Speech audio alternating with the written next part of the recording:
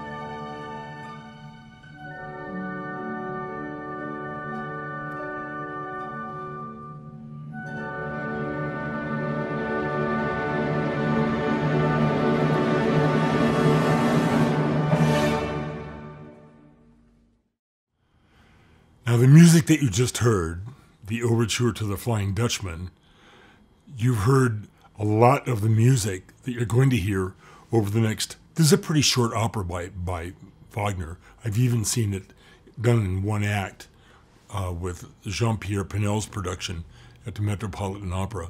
It's only about two hours and 10 minutes of music. But the music at the beginning represents the, a huge storm.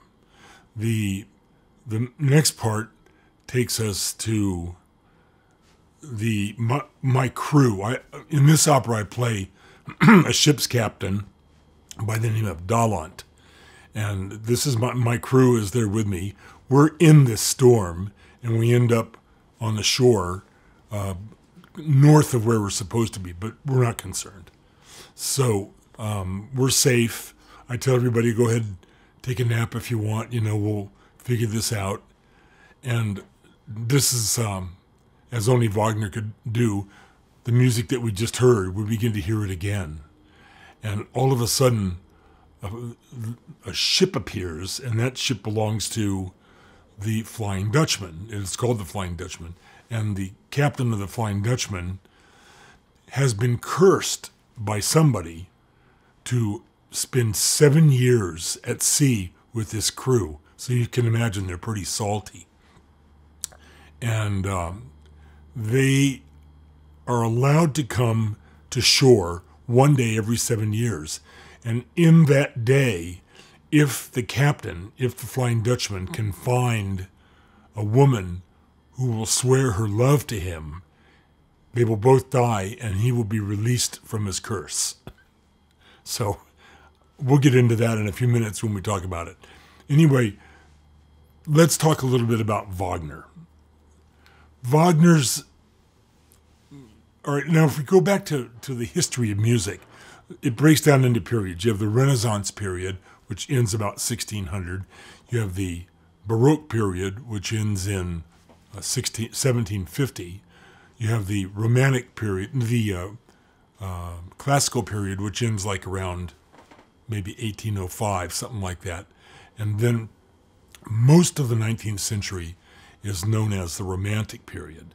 Now, the the Renaissance period kind of reached its peak. It couldn't go any further with what was the music of the Renaissance, with the music of uh, Palestrina, Italian. Now, the music of the Baroque period was finally reached its culmination under Johann Sebastian Bach. The um, I would say the, the classical period was highlighted by uh, Mozart and Haydn, but it kind of reached its peak and then transitioned into the Romantic period with the music of Beethoven. And Wagner is the one who took the concept of the Romantic period, which we won't go into now, but it's pretty self explanatory just by the title. He took it right to, to its very limit, and that was sort of the end of the Romantic period.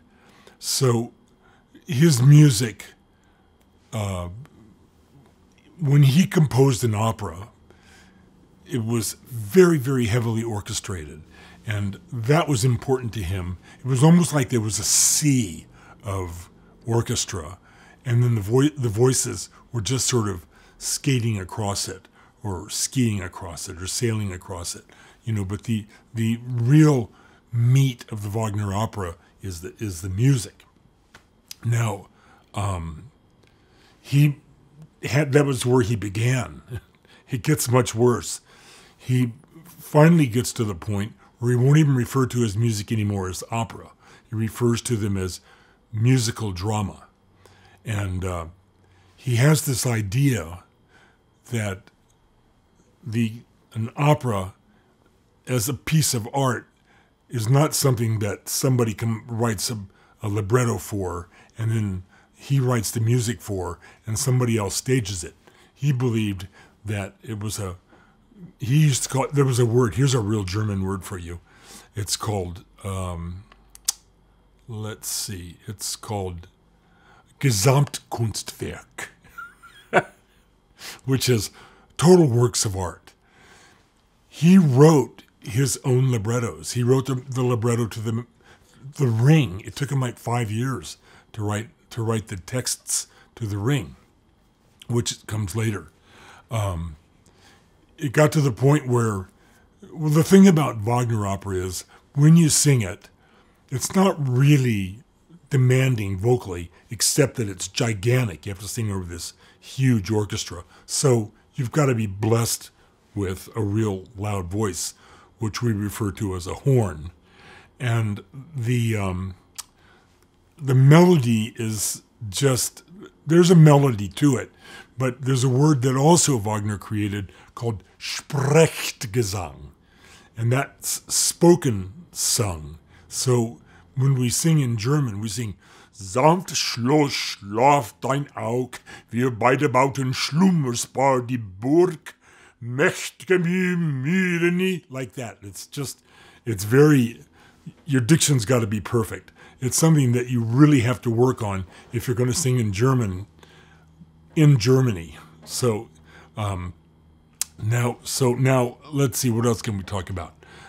Opera, on the other hand, opera on the Italian side is oh, there one more thing about Wagner's opera. They always have these kind of mythical or or almost well mythical I guess was a good word for it. Themes. Nordic mythical themes are, are very much in this one. The Flying Dutchman, for example, is a Nordic theme like that. The um, the whole idea of the uh, ring of the Nibelungen is very much like um, Tolkien's ring. You know, there's a ring, and it's all makes one all powerful, and at the end it gets thrown into the to the uh, back into the Rhine, and the whole world f- floods over, and the gods are replaced by people. That's what Götterdämmerung means, which is the last one. Götterdämmerung means the twilight of the gods. So, and then and then another myth that he used a lot was the myth of the Holy Grail. The Holy Grail being the chalice that was used by Christ at the Last Supper. Uh, it's it's a part of Lohengrin. It's a part of um, Parsifal, and uh, it's definitely a huge part of uh, his opera.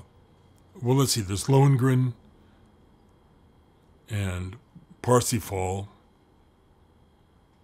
I guess that's the two that it mostly is. All right, and then now the third theme that he uses a lot is sort of medieval history in German and, and the idea of German nationalism and German oneness, which is, I think, why he was so popular with the Nazi movement. He was also a bit of an anti Semite. Well, he was a big anti Semite, but that was, you know, that was a very difficult time in Germany. You know, there was not a Germany even in the time of, of Wagner. It was rather all these little states, you know, that finally got together. There was this thing called the, well, you know, it was all kind of coming together in the 19th century. So Wagner also became sort of a political figure, and in a way, an anti political figure, so much so that for a period of six years, from like in the 60s when he was in his 40, by the way, they were both born in 1813, Verdi and Wagner. So he moved on to, um, um, where did he move on to? He moved on to Switzerland near Lucerne, and he was there for six years. Um, finished a lot of his work. And then another thing that he did, besides writing his own words and his own music, he wrote exactly how he wanted it staged, where he wanted people to be, and then the ultimate was he designed his own theater, and it's called the Bayreuth Theater, the Bayreuth Festspielhaus in Germany, and it's still there, and they do Wagner operas there. Very strange. I've never sung at the Festspielhaus, although I wish I could say that I had. I have actually never been to the Festspielhaus. Now, I want to play a piece of music by Wagner that I think really um, captures a lot of the things I've been talking about. The thickness of the music. Oh, this is from the opera Tristan and Isolde. This is another one that's about It's legendary, and it's the legend of Tristan and Isolde. Uh, Tristan in the opera is sent to Cornwall to bring back the Princess Isolde to marry King Mark so that it will unite their kingdoms. And uh, who is the um, handmaiden to um, Isolde, has a potion, a love potion, that when King Mark and and Isolde drink it, they'll fall in love with each other, and that'll be the end of that. They'll be in love forever. But you know, um, unfortunately or fortunately for the opera, Isolde and Tristan drink it, and they fall in love with each other, which is a, a big problem, especially when he presents uh, Isolde to King Mark, because it's pretty obvious what's going on. And so King Mark banishes him, and uh, let me see, the one one person even wounds, mortally wounds Tristan, and he moves out. So that and and then I don't know if Isolde ever marries him or not. I did King Mark. Um, I did it a couple of times. My favorite performance, probably of all times, was very early in my career. I sang the role of King Mark in Tristan and Isolde at a special uh, New Year's Eve performance at Carnegie Hall. Uh, it was full. My parents came to it. They hadn't really heard me sing much opera at the time. And King Mark has a scene where he walks, uh, where he sings nine minutes.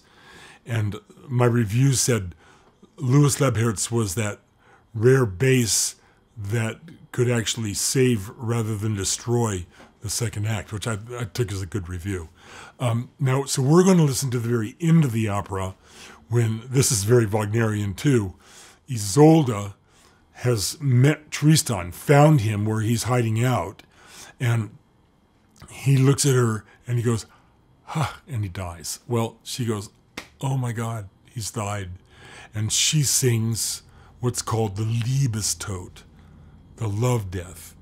And she sings this beautiful, beautiful, sorrowful song where she dies. Now, another interesting thing that goes on in Tristan and Isolde, and this is a very Wagnerian thing, he's always modulating to different keys, and you think he's going to end a, phrase, but he's just moving on.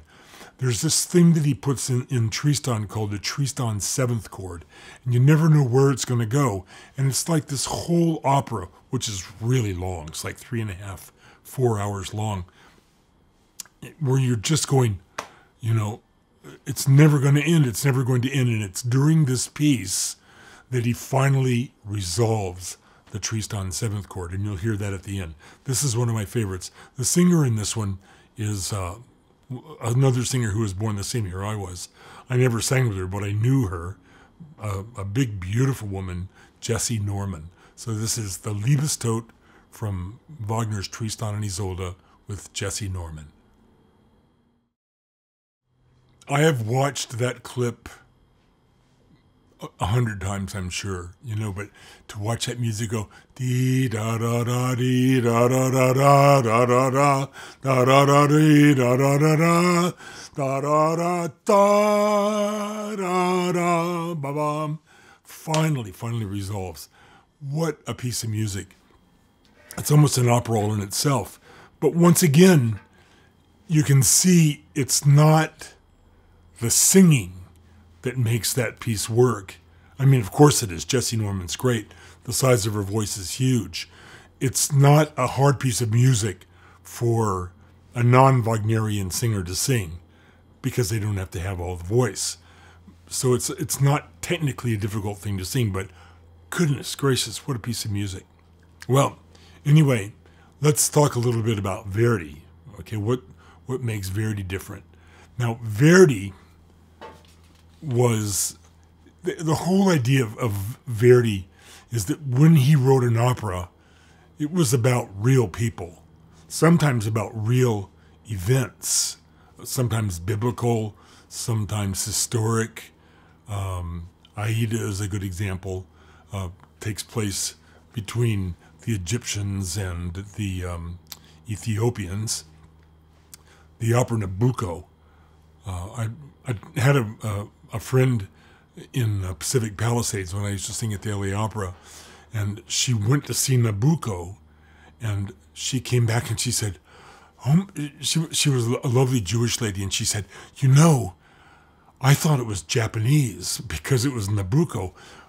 That was a wonderful biblical opera. It was. It's really the real name of it is Nebuchadnezzar, or Nebuchadnezzar is the uh, the tyrant, uh, the Babylonian tyrant who held the Jews in captivity. It's about the Jewish captivity in Babylon, and at the end, uh, they all are converted, uh, rather miraculously, and the Jews return to Israel.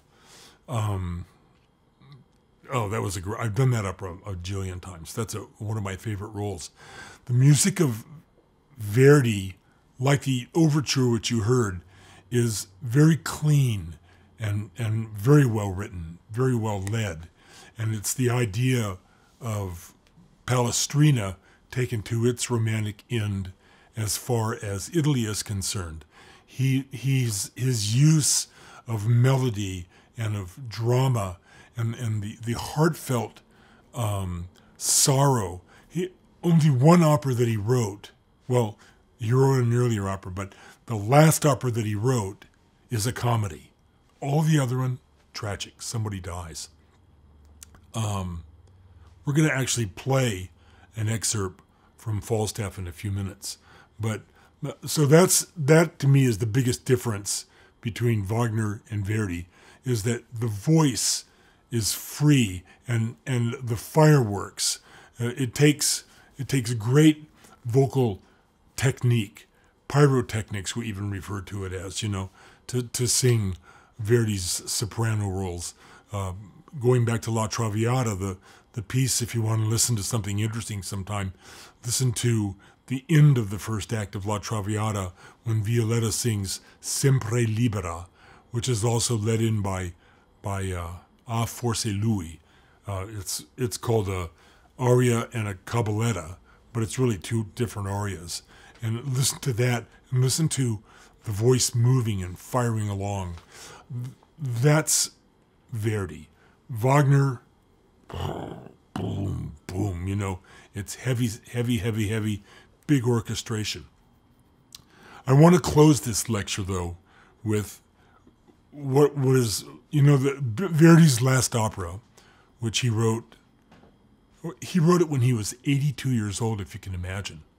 Um, the opera that he wrote right before that, he was 75 years old, and he hadn't written anything from he was from about age 60 until his middle 70s because he was depressed by the um, way that Wagner, Wagner and Wagnerianism was taking over the world. And it was when he came out with Otello and Falstaff that he said, "You see, there's different ways of looking at it." And so, um, 82 years old when he wrote this. Wagner, by the way, died in, um, I guess he died in 83, 1883, at the age of 69, right before he turned 70.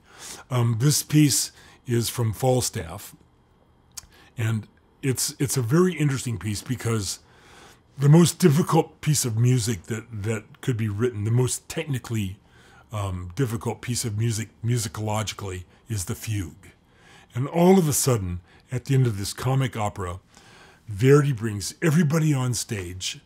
At, it, we're at the end of Falstaff, and we sing this huge, huge fugue. Everybody has their part, and it's called Tutto il mondo e burla. Now, so first of all, Wagner says, Look, you see this fugue? That's music. And then he said, and all that all that talking and all that singing, tutto il mondo e burla means all of the world is a joke. So now we're going to listen to the finale from Falstaff by Giuseppe Verdi. Facciamo il parentado e che il ciel vi dia gioia core terminiam la scena poi con serposta tutti andiamo a cena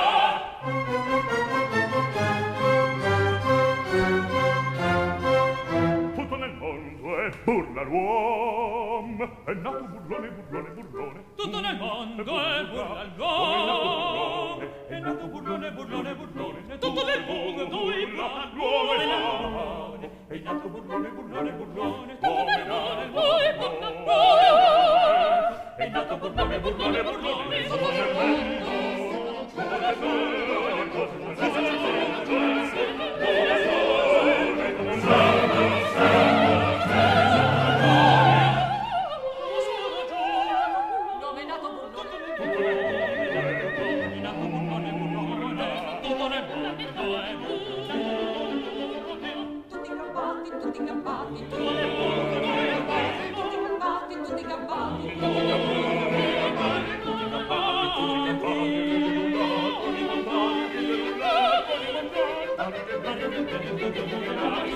Antiche cari, tutto nel mondo, e ora che mi ne vado,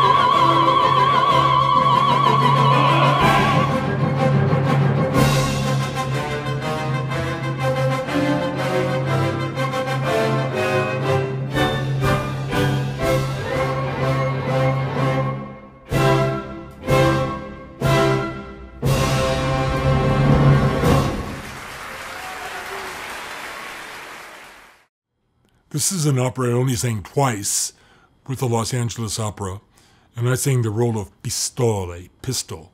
Uh, interesting that um, Ralph Vaughan Williams wrote an opera similar to this, same story, and it was called um, Sir John in Love, and that was in English. And um, Nicolai wrote uh, a German kind of musical version of it um, called um, The Merry Widow. No, no, not The Merry Widow. Um, the Merry Wives of Windsor, which I think is actually what they what it's all from uh, the the Shakespeare thing, The Merry Wives of Windsor. Notice that Shakespeare is the librettist for both of Wagner's last two operas. He didn't mess around. Some of his other librettists were uh, Goethe. That's a big one. Um, oh, geez, I can't think of him right now.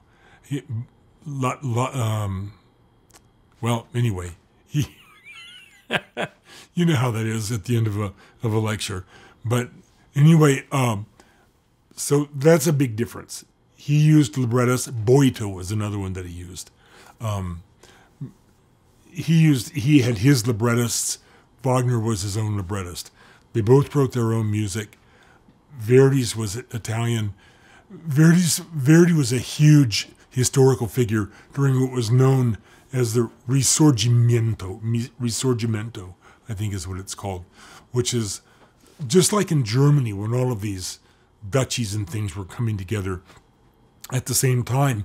Italy was a bunch of city states, you know, and there was this big movement to separate and and have one or two or three different countries, and the other and another one is to have a country that was based around Rome and the Pope and the King. So Verdi uh, became like this this figure that people were cheering Verdi, but they were also saying they were saying "Viva Verdi," V E R D I, but what was implied was Vittoria Emanuele, Re d'Italia. So Victoria Emmanuel, King of Italy. So you can see that that was going on. So we have two two political figures going in different directions. One representing the German ideal, this this very philosophical idea, and then you have the Italian ideal, the the one based on on love and emotion. Ah, Italians, Italians, they talk with their hands. Germans talk like with their mouths. The, the German sings. He he says, uh, let me think of. He says, I'll say I'll tell you I'll tell you a poem in German and a poem in Italian. A poem in German. Let's see, what's a good one?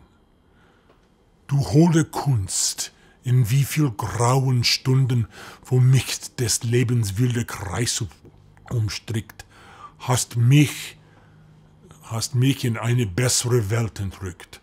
That's basically the poem. In Italian, now in Italian. Amarilli, mia bella, non credi o da mio cor dolce desio, d'esser tu l'amor mio, credilo pur, e se ti morta sale, aprimi il petto e vedrai scritto in core, Amarilli è il mio amore. So thank you very much. I hope that that explains a bit of Wagner versus Verdi from the inside looking out. That is how I saw it as a singer and how as, as I have always thought it. I really appreciate the opportunity to talk to you all. Um, God willing, we'll get through this virus, and I really hope that uh, one day soon we'll be able to do one of these lectures face to face. I'll be back in five minutes for the Q&A, and I look forward to uh, hearing what you have to say. Thank you very much.